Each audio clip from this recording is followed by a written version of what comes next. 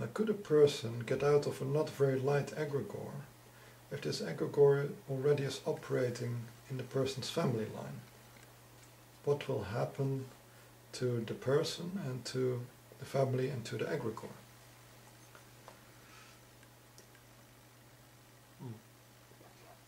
I think here it's also very important to make a little bit of a distinction about the height of the egregore, um, how high a consciousness it can encompass.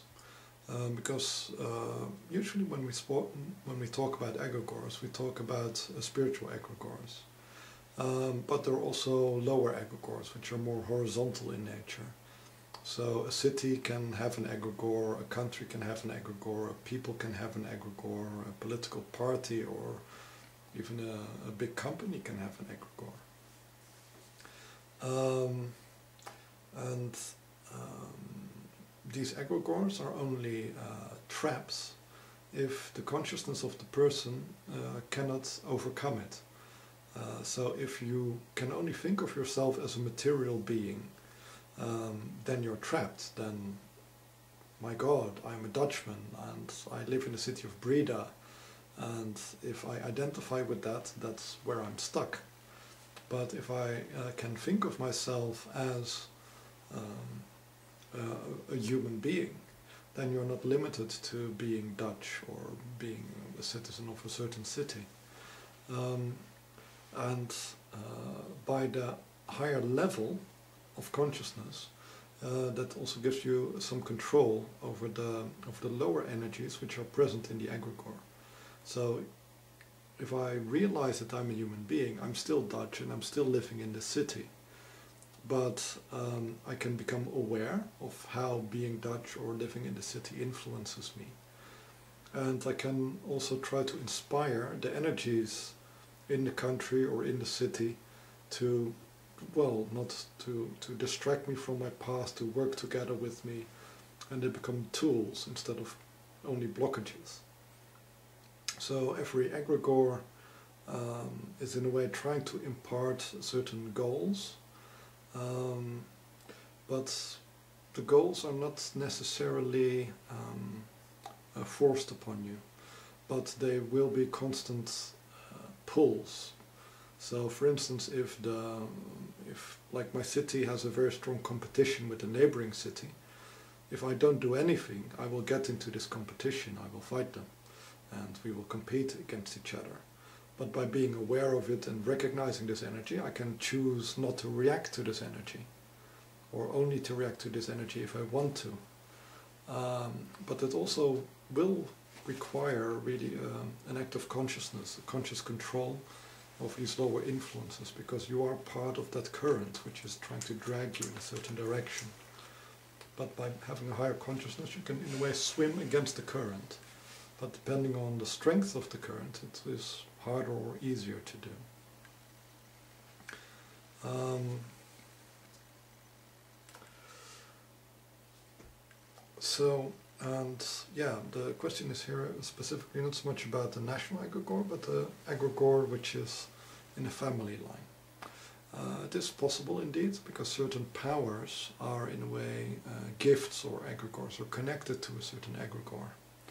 And these powers can in a way uh, instead of just being imparted by the uh, incarnating uh, or taken along with the incarnating spirit, it can also go from bottom up and be nourished in, in a bloodline um, so that indeed an egregore builds up better inc incarnations for its members uh, on the earth. Um, and this is a tricky thing because the power itself is connected to the egregore. So your bloodline itself can be connected to this egregore, which is um, just part of it. Um, ultimately, to get loose of that or to get free of that, it will require, um, in way, energetic surgery. Uh, that power has to be released because there's at best a dual control over it. The egregore controls it and you control it. And if you don't agree with the egregore, there will be a constant tug of war how the power will manifest itself. And at the moment you're not conscious of the power, then the egregore will try to control that part of your life, that part of your being. So ultimately it is usually best to uh, rid yourself of that part of the energy body and if you want a similar power then you can just recreate it from a light egregore or from out of your own soul or your own spirit. But then it is your own energy instead of the energy of the egregore.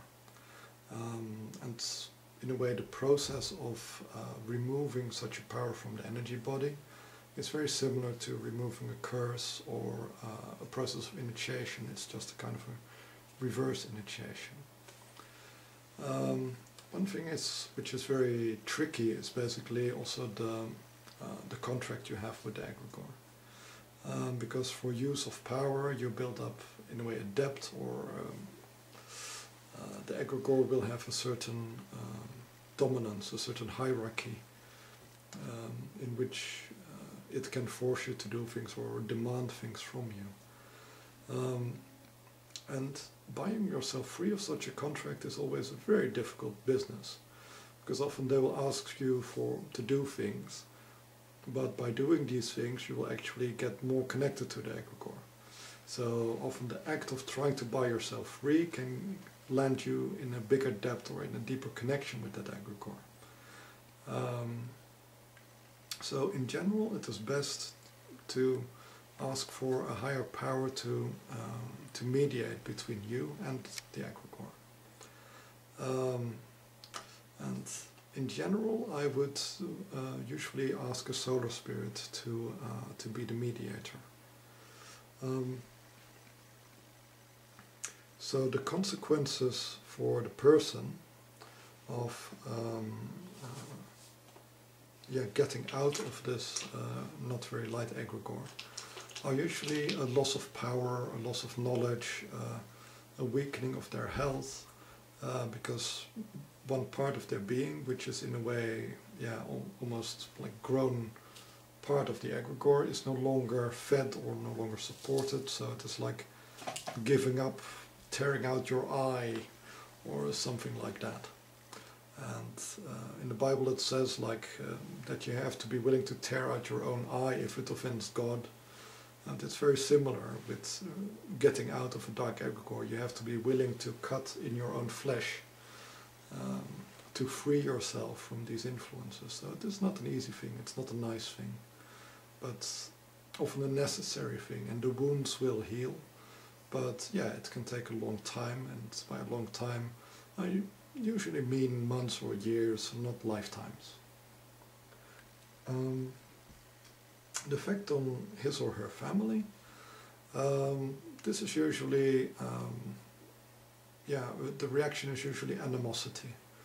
Um, because other people will feel that you're betraying them, you're not one of them, your behavior is irrational, erratic, incomprehensible, because they are still under the influence of the egregore. It's very much like being part of a cult or a sect or some fundamentalist religion.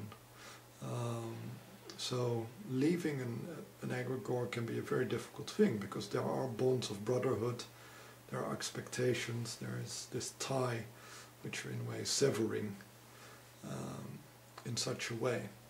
And it depends very much upon the, the quality of the heart of the people who are involved, whether they can still maintain the connection uh, in a healthy and good way between you or not.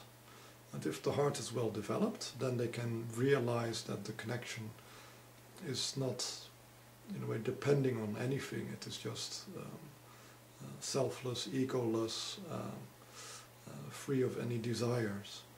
Um, and then you can still have a very loving relationship with them.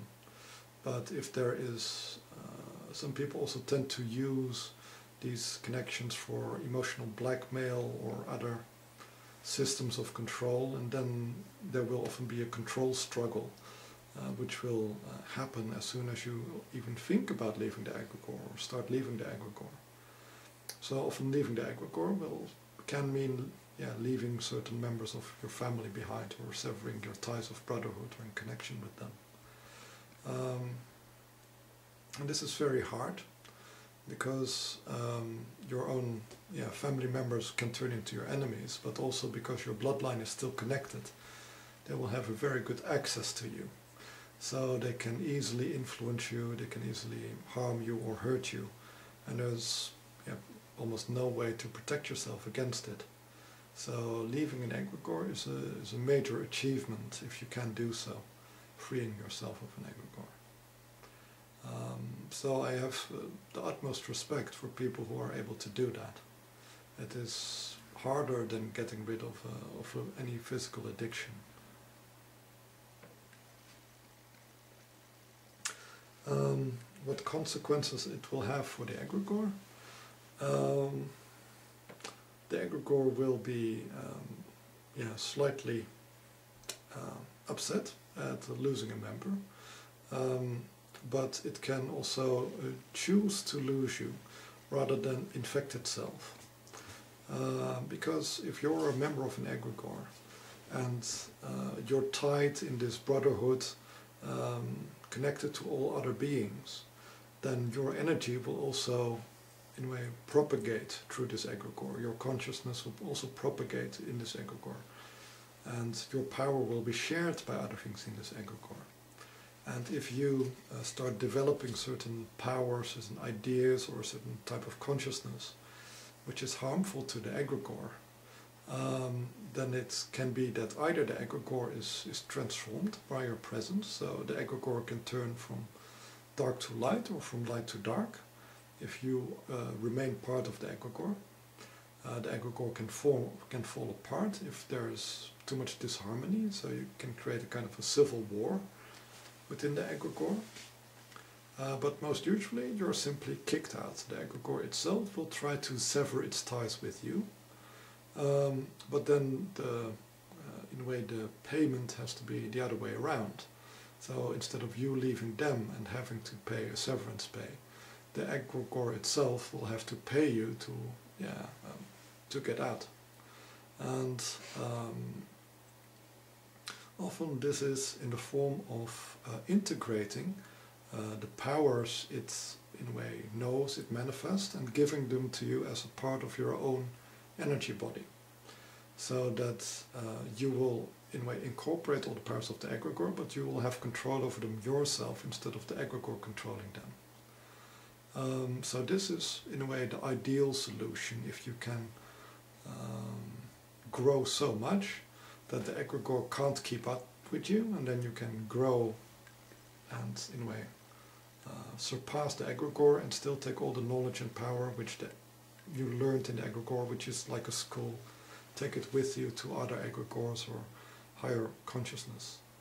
And this is also very much how the light side works. They tend to try to help people to move from one egregore into a higher egregore. Uh, the dark side is not so happy if this happens, but also on the dark side this happens. So one of the interesting things is also that uh, between egregores, but also between cosmoses, um, there can be ambassadors.